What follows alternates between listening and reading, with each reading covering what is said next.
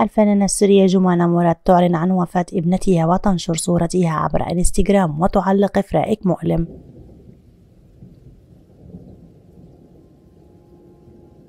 خيم الحزن على الفنانة السورية جمانة مراد حيث أعلنت عبر حسابها الرسمي بموقع انستغرام عن وفاة ابنتها ديانا دون الكشف عن أسباب الوفاة. وقالت الفنانة السورية جمانة مراد الحمد لله على كل حال الله ما أعطى والله ما أخذ وإنا لله وإنا إليه راجعون. انتقلت إلى رحمة الله اليوم ابنتنا ديانا ربيع بسيسو.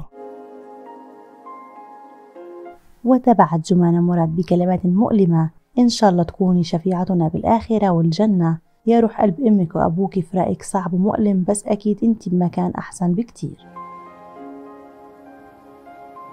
واختتمت الفنانة جمانة مراد قائلة يا رب ألهمنا الصبر والسلوان وبرد عقلوبنا لا اعتراض على حكمك يا رب والحمد لله على كل حال وأنت طير من طيور الجنة يا أمي.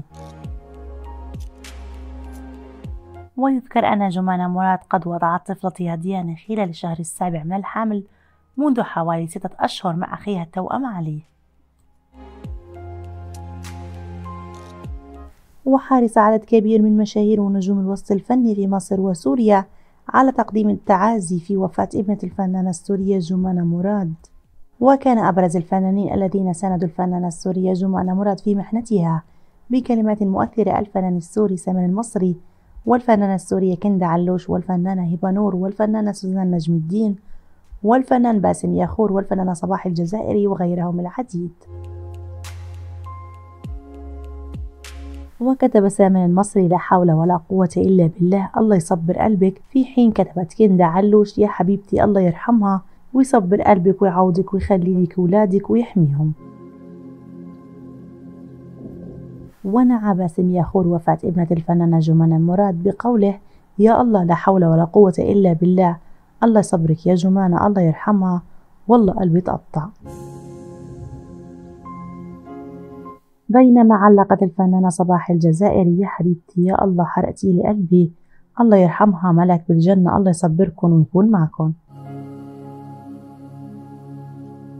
جمانة مراد هي ممثلة ومنتجة سورية شهيرة وواحدة من نجمات الدراما السورية والمصرية. بدأت حياتها كمذيعة ثم دخلت عالم الفن عن طريق المخرج السوري نجدة إسماعيل إنزو. جمانة مراد مواليد الأول من إبريل عام 1973 في مدينة السويداء السورية وعاشت مراد جزء من حياتها في دولة الإمارات العربية المتحدة حتى أنهت الثانوية العامة. درست جمانة مراد في جامعة دمشق في كلية الآداب قسم اللغة الإنجليزية وبعد تخرجها منه درست الدراما والتمثيل في مركز فنون التمثيل في لندن.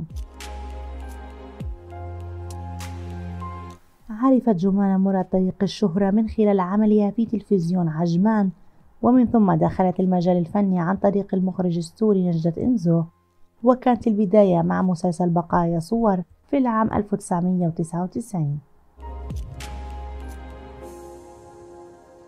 مع المخرج نجدة إنزو قدمت جمانة مراد العديد من المسلسلات مثل رمح النار البواسل والمسلوب والبحث عن صلاح الدين. وشكلت جمانة مراد ثنائية ناجحة مع الفنان السوري سامر المصري من خلال شخصية العقيد أبو شهاب وزوجته شريفة في مسلسل باب الحارة والذي شاركت جمانة مراد في أجزائه الثالث والرابع والخامس. حققت الفنانة السورية جمانة مراد شهرة واسعة عربيا عندما قامت ببطولة مسلسل الدراما العربية المشتركة مطلوب رجال في العام 2010 وقد قامت بشخصية امرأة مصرية تدعى هالة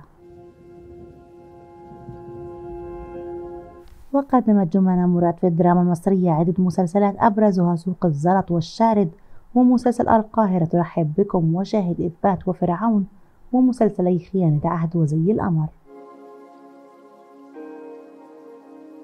أما في السينما المصرية فقدمت مراد العديد من الأفلام مثل الشياطين ولحظات أنوثة وفيلم كباريه والفرح وفيلم الحفلة وكف القمر وتنتظر مراد عرض فيلم 13 يوم في دور العرض المصرية.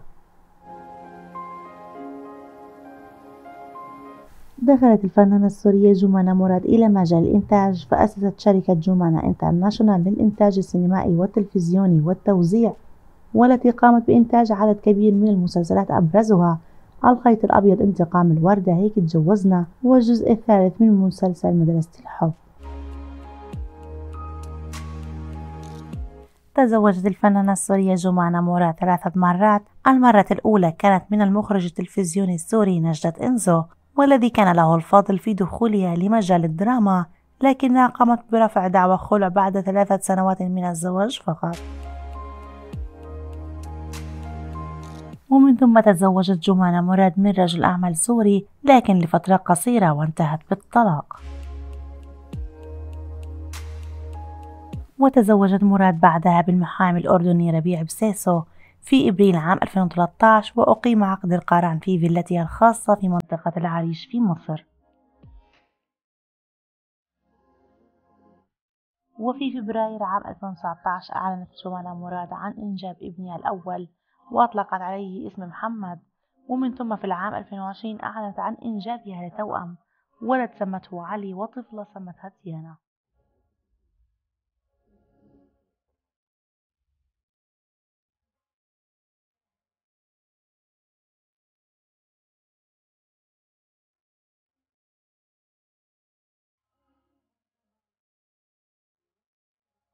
عانت الفنانة السورية جمانة مراد من تأخر الإنجاب مدة ست إلى سبع سنوات وقد نذرت أن تحج إلى بيت الله الحرام في حال حدوث الحمل وهذا ما تحقق بالفعل في العام 2018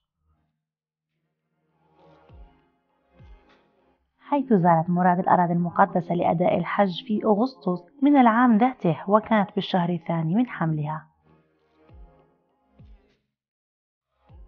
وتوقفت جمانة مراد عن التمثيل لمدة سبعة سنوات لرعاية أسرتها وذلك منذ العام 2013 لتعود في العام 2020 بمسلسل خيانة عهد حيث فضلت مراد التوقف لتأسيس عائلة ورعاية ابنها الأول.